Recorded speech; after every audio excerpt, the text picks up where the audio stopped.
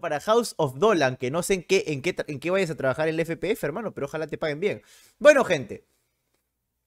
Ahora sí. Ahora sí es momento de mostrársela. La tengo acá en la mesa, como les había dicho.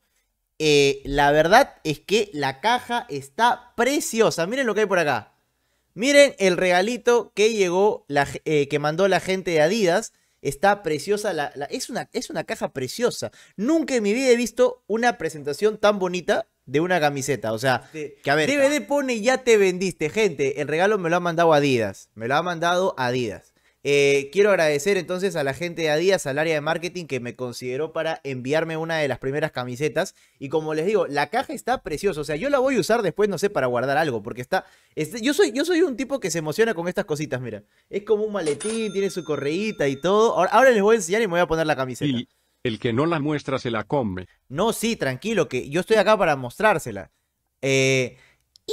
¡Guau, A ver. Renzo Carpio dice. Fano, ¿nos vas a mostrar la tula, verdad? No. Si muestras más camiseta, te bajo el canal. no, es, una, es la camiseta, ¿cómo la tula, muchachos? Si, si muestro la tula, se me acaba mi carrera de streamer. Paolo Guerrero Oficial dice.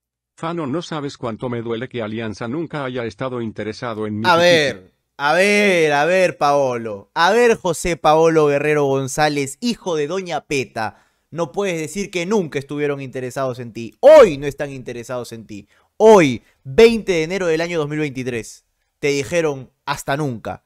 Pero, pero, Alianza sí tuvo un interés. Pero qué bueno que decidiste no venir.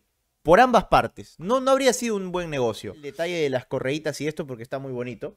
A ver, vamos, vamos a empezar. Voy a entrar primero a la gente eh, del Discord. Acá me preguntaban mucho si llegó la camiseta para Dichadison. Bueno, gente, hay que agradecer que nos mandaron, que me mandaron la camiseta porque yo sinceramente llegué a creer que después de pedir camiseta para Dichadison no me iban a mandar ni pincho. De verdad, y, tenían, y tenían razón en no mandarme ni pincho, ¿ah? pero por eso, por eso estoy muy agradecido que a pesar de confianzudo me han enviado mi camiseta. Así que agradezco. Yo, yo estoy feliz, mano. Yo soy una persona muy agradecida. A ver, voy a tratar de abrir esto sin, sin romper las correitas que están bonitas. A ver, Sí, está, está muy bonita la maleta. Sí, guárdala porque es así, se puede perder en cualquier No, no, no, es que este, esta, si te la, la, cajita me ha gustado más que Vaya, vaya, dice. Ahora que eres famoso, mandame un saludo de cumpleaños. Oh, vaya, vaya. incluido. Cada vez más cerca del club de los 27. Cada vez más cerca del club de los 27, basta. Un saludo para Vaya, vaya, que está de cumpleaños. No sé cuántos cumple, vaya, vaya, pero gracias por estar y por apoyar el canal. A ver, a ver, muchachos, voy a tratar de abrir esto sin romperlo. Ahí está, perfecto. Ya está, abrimos la maletita. Creo que se puede apreciar acá. A ver, voy a ponerlo así para que se pueda ver cuando lo abro. A ver. Pi, pi, pi, pi, pi, pi.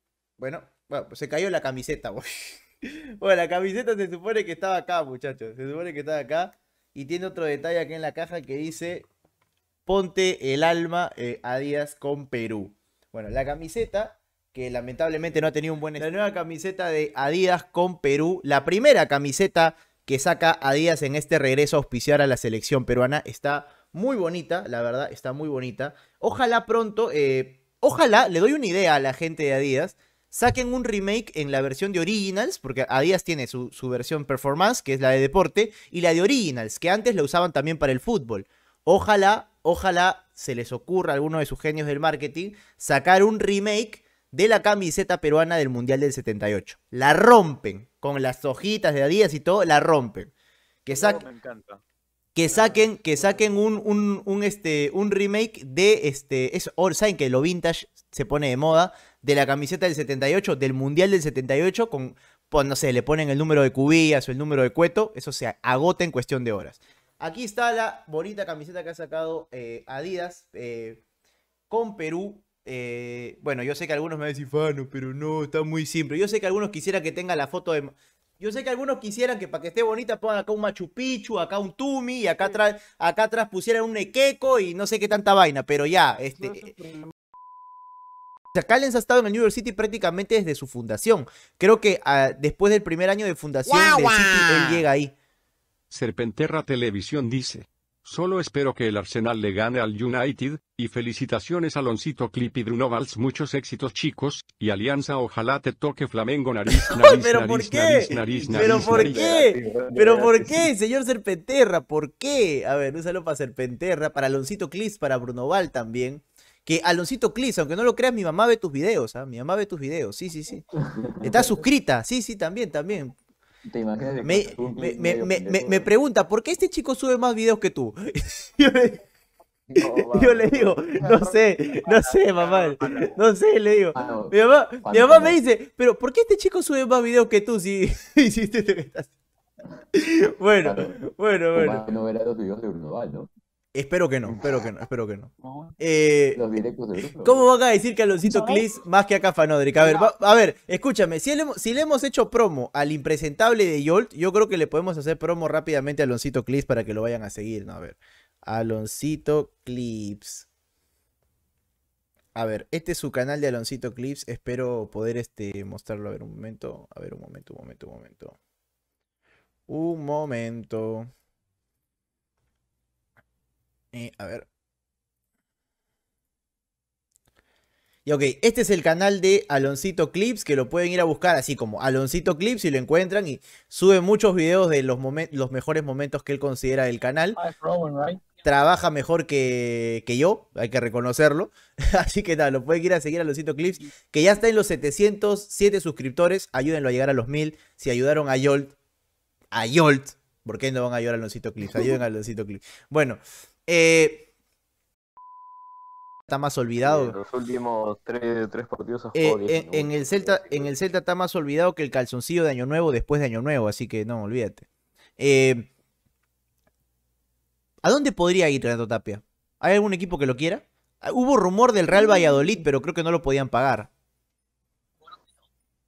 Es el tema, que también piden un precio un poco alto, yo creo. Un poco alto, un ¿no? equipo que no está jugando mucho, no está jugando mucho, pero bueno. ¿Pero cuánto piden por Tapia?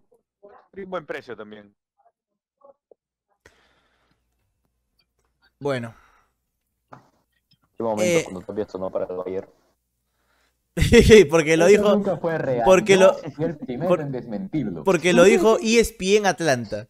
El Valencia lo quiere, Gatuso. Ojo, Gatuso dijo que quería jugadores Uy. fracasados. Así dijo Gatuso, que quería, quería futbolistas que hayan fracasado en otro lado para potenciarlos. Bueno, aquí rapi- rápidamente, rápidamente voy a hacer un paréntesis para poner un cherry, porque eh, yo sé que les prometí que iba a decir dónde podían conseguir sus sillas personalizadas, pero el emprendimiento a cargo me ha dicho que me aguante a la otra semana porque quieren preparar bien su canal de ventas para que puedan mandarse sus pedidos. Así que si quieren, obviamente pueden pedirse una alianza, que es el mejor equipo del país, pero si tienen gustos como por ejemplo son de la U, de Cristal, del equipo que sea, si son del Barça como Robotín, también pueden personalizar su silla. A mí, por ejemplo, me encanta porque es de puta madre. Y darle a un, entrenador primerizo un equipo con probabilidades de fracaso tan altas, eh, eh, no, no, no le estás dando una oportunidad necesariamente. Eh, Fano, si fueras DT de esta sub-20, ¿qué harías y qué no harías? Renunciaría. Eh, eso haría, eso haría, no, no haría otra cosa, no, te voy a mentir. No, es que voy a hacer magia, voy a hacer que, el equipo se vuelva muy bueno. Eh, Lagrimaldo, Lagrimaldo creo que se lesionó, porque si no, no tendría sentido que no esté. Lagrimaldo, ¿cómo le va a decir Lagrimaldo y sinvergüenza? Yo todavía que lo leo. Grimaldo es bueno, ¿eh? A mí Grimaldo me gusta cómo juega. Travel Bike dice. ¿Recuerdas cuando dimos vergüenza con los Jotitas en no, sub-20? Qué, qué bueno que me desbloqueaste un recuerdo, Travel Bike. Esa sí fue una de las peores selecciones sub-20 de la historia. La sub-20 de los Jotitas. Y fue muy vergonzoso porque recuerdo que el primer partido, que si la memoria no me falla fue con Ecuador, se paralizó el Perú, huevón. Para ver el partido de los Jotitas. Que volvían a jugar juntos. Dos años después los Jotitas volvían a jugar juntos. Y se reunían los Jotitas, la promo de los Jotitas.